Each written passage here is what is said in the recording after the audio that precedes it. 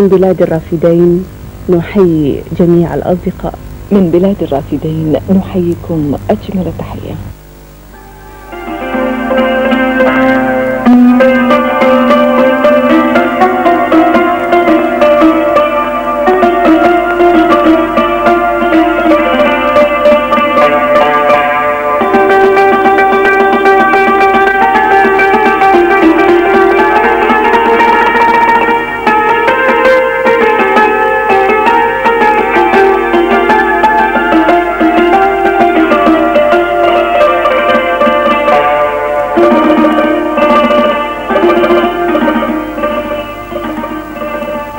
أرض وادي الرافدين. هنا عرفت الحضارة الإنسانية مشرقها الأول. ففي هذه البقعة من العالم وقبل الميلاد بآلاف السنين كانت شريعة حمورابي فاتحة الشرائع في العالم عدلا وكمالا وحفظا لحقوق الإنسان.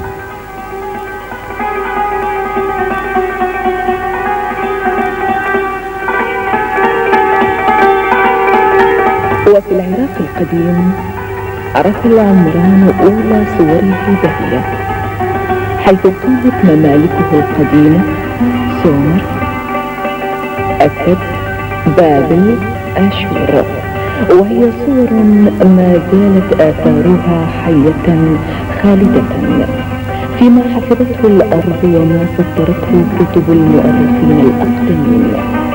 كانت الجنائن المعلقة صفة رائعة من صور المعمار الذي أبدعته العقلية العراقية في الأزمان القديمة.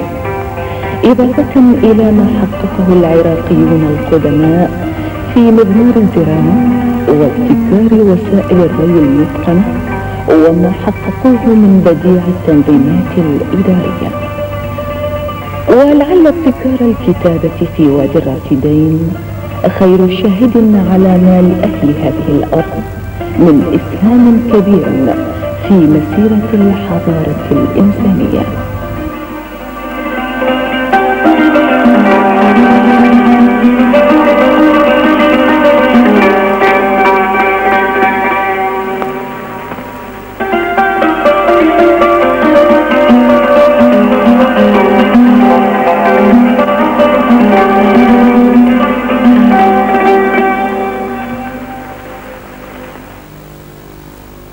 وتستمر مسيرة الحضارة في العراق رغم كل ظروف الغزو الخارجي الذي تعرض له على مر العصور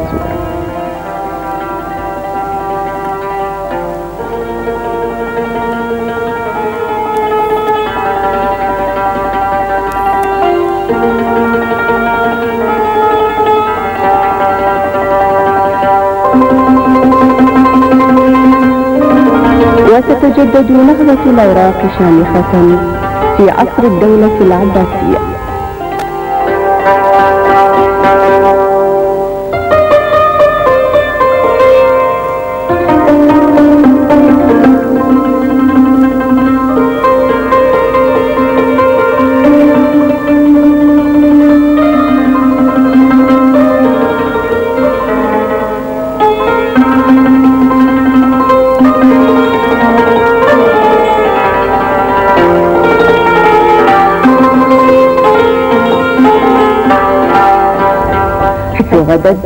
بغداد الفتية عاصمة للدولة الإسلامية الكبيرة.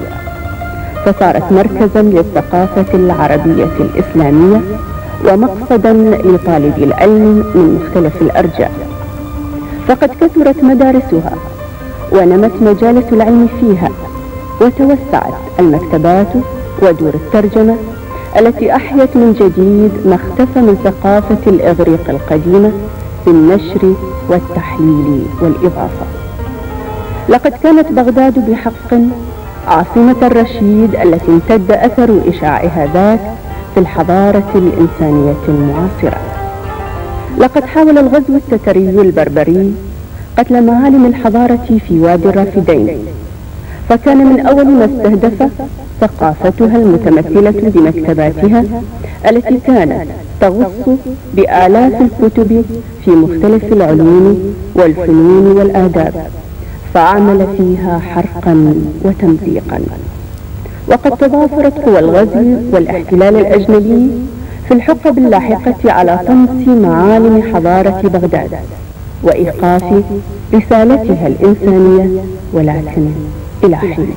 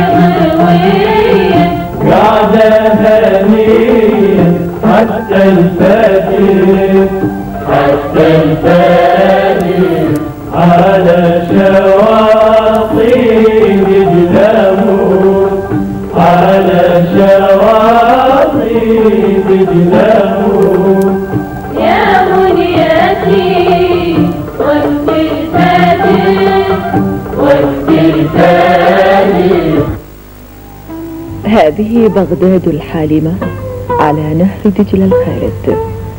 تشهد منذ ثورة السابع عشر من تموز عام ثمانية وستين وتسعمائة وألف نهوضا جديدا.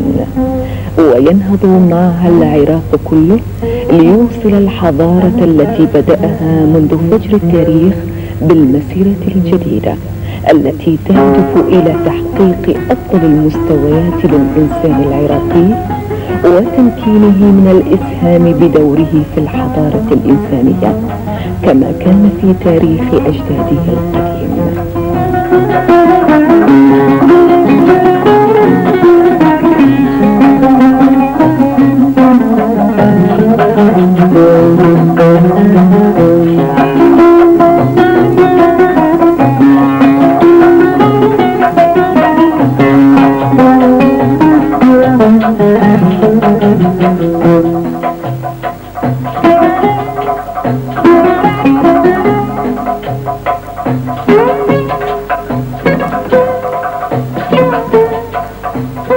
هذه بغداد في عهد الرئيس القائد صدام حسين حاضرة الأمة ومركز استقطابها.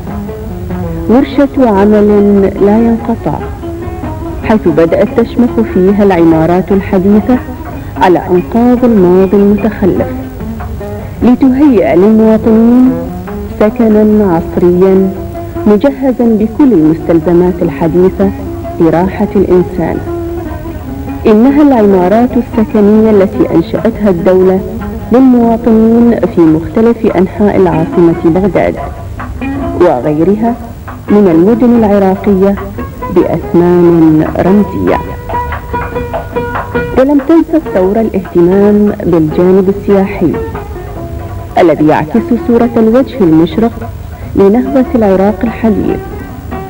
فأنشأت الفنادق الفخمة والمطاعم السياحية الأنيقة لتكون نافذة يطل منها الزوار على صورة الحياة الجميلة في عراق اليوم.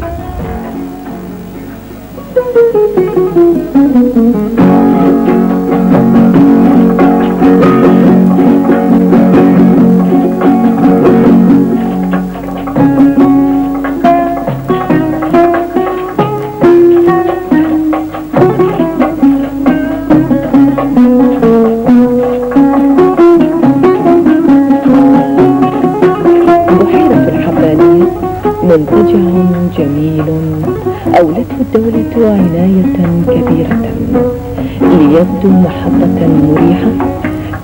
فيها المواطنون أوقاتا هانئة بعد عمل متواصل نشيط على طريق البناء والتقدم.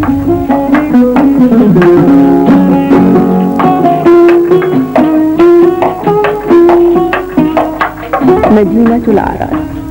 عروس تتهادى وسط دجل الذي ينساب بهدوء بين بساتين النخيل.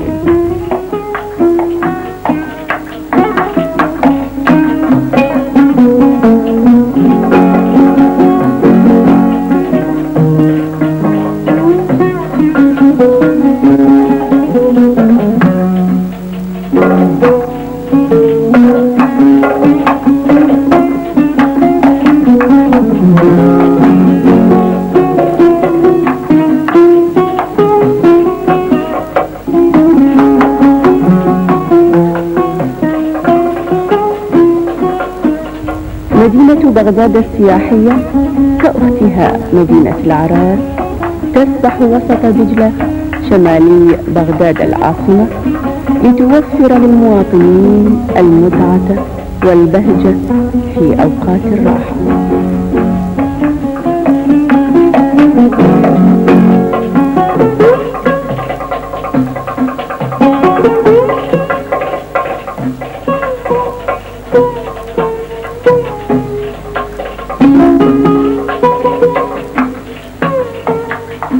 إن النهضة العمرانية في بغداد اليوم لم تقتصر على الأبنية الحديثة للسكن والترفيه حسب بل شملت كل نواحي الحياة ورموزها المعنوية. هنا ينتصب ضريح الجندي المجهول معلما خالدا يرمز إلى بطولة الجندي العراقي وتضحيته الفذة في سبيل الدفاع عن الوطن. وهنا ينتصب نصب الشهيد رمزا لسمو الشهداء ونبل الفداء من أجل القضايا العادلة.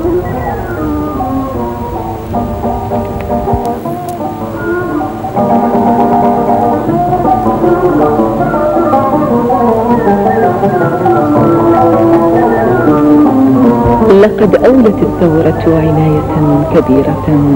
لكل ما من شأنه تحقيق أفضل المستويات بزمن قياسي رغم كل ظروف.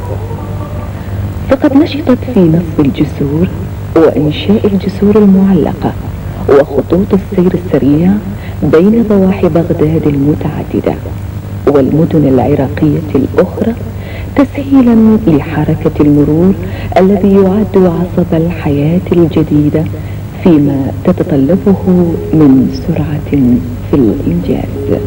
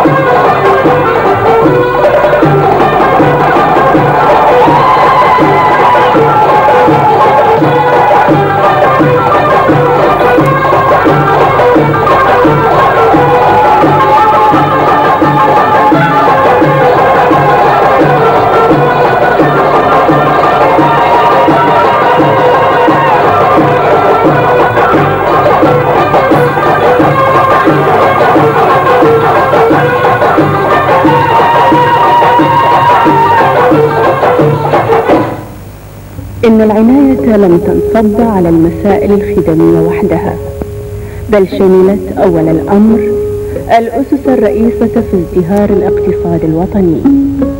فأنشئت مئات المعامل الصناعية التي تديرها الخبرات العراقية في مختلف مجالات الصناعة الحية.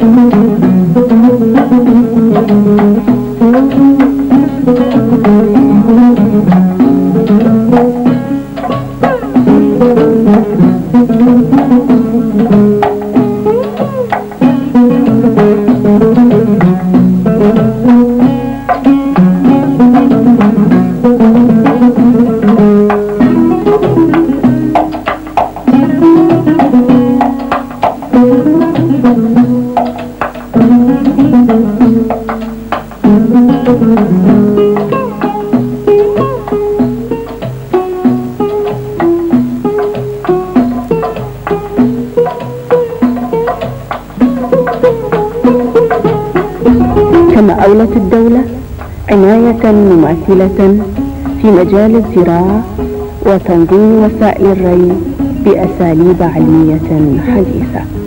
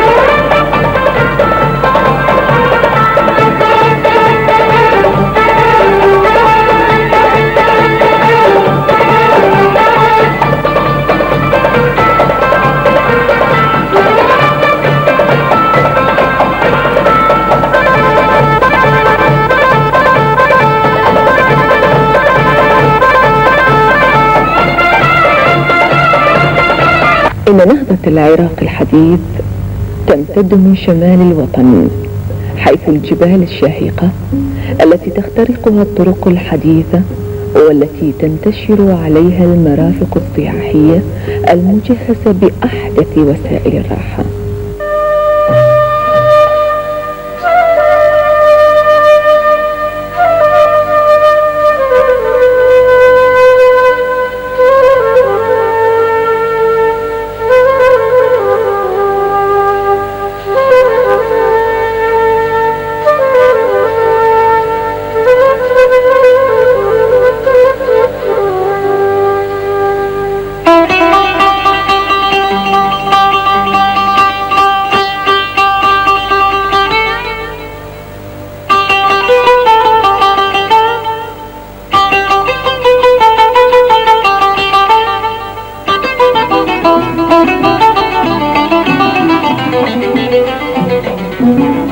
إلى جنوب العراق حيث الأهوار الطبيعية وحيث أوصلت الثورة الماء النقي والكهرباء إلى أبعد قرية فيها وأنشأت المدارس في أقصى نقطة منها لتنشئة جيل جديد متعلم تمشيا مع طموح الثورة في خلق الإنسان الجديد وقد أنشأت كذلك مدارس محو الأمية والمدارس الشعبية لتعليم الكبار تمشيا مع طموحها في القضاء على الأمية قضاء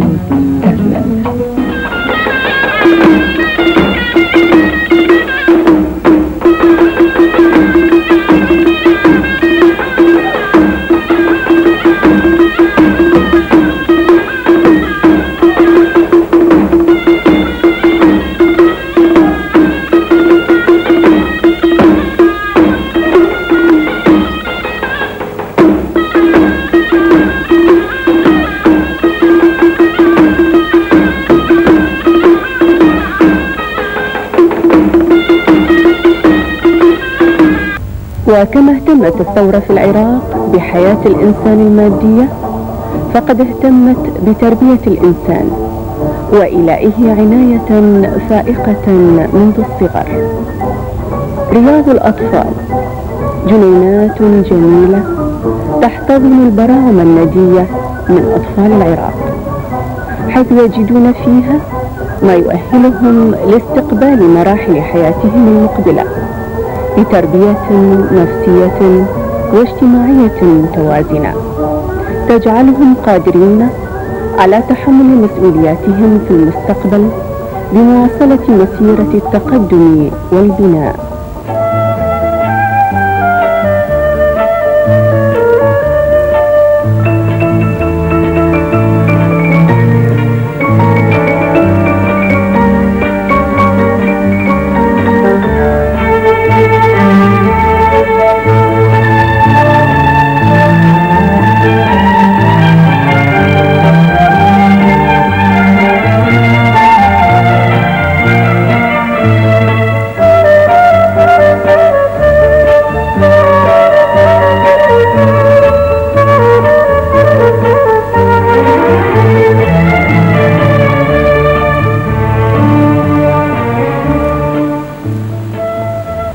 أما المرأة العراقية فقد كان لها مقام رفيع في المجتمع منذ فجر التاريخ فقد تبوأت أعلى المراتب.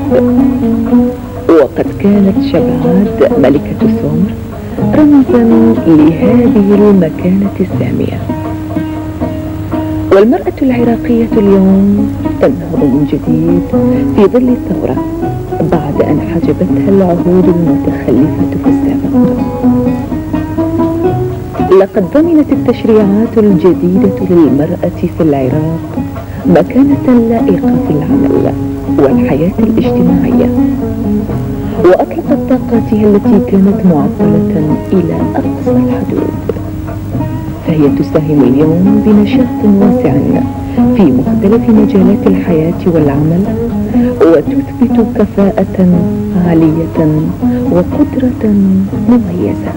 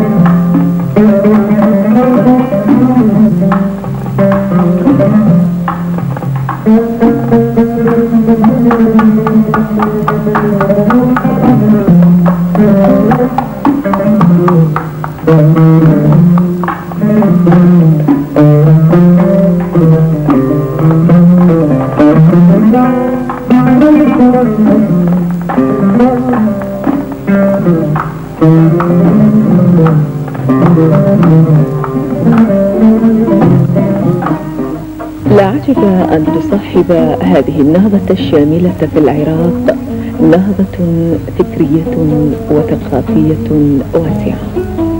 تجد مؤشراتها في المراكز الثقافية العراقية المنتشرة في العديد من عواصم العالم والتي تساهم في إغناء الحركة الثقافية الإنسانية. كما تجد صداها فيما تنشره وزارة الثقافة والإعلام من الكتب التي تنتجها أقلام الكتاب العراقيين والعرب في مختلف مجالات العلوم والآداب والفنون وما تقيمه الوزارة من معارض للكتب العالمية.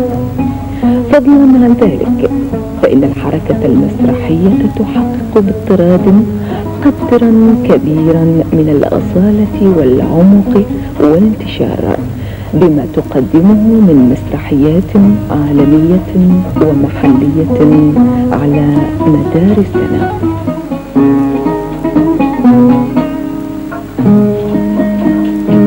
وتزدهر الحركة الموسيقية جنبا إلى جنب مع الحركة الأدبية والعلمية.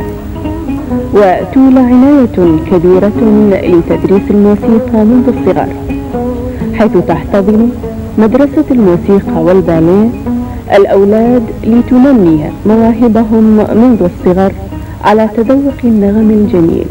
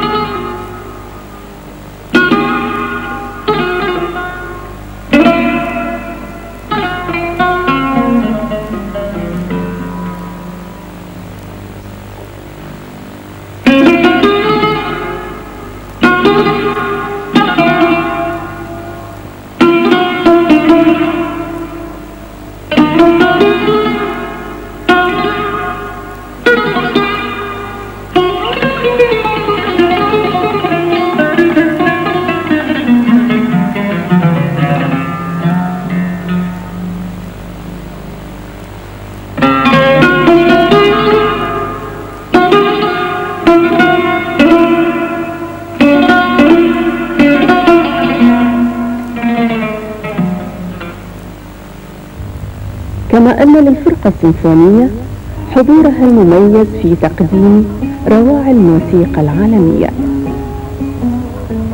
كذلك تزدهر الموسيقى الشرقية التراثية في عطاء أصيل متواصل تشكل فيه الحركة الموسيقية الغنائية نموذجا متطورا من العطاء.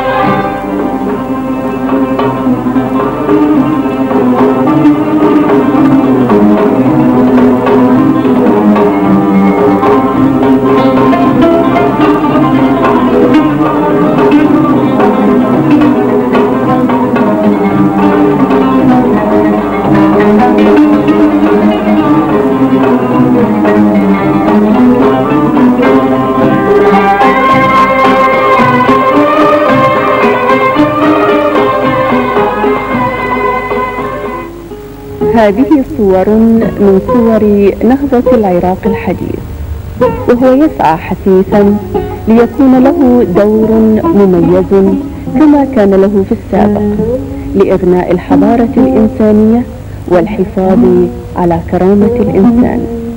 سنلتقي دائما أيها الأصدقاء على طريق الود والمحبة والخير. نلتقي دائما أصدقاء المشاهدين في ظل الأعياد والمناسبات.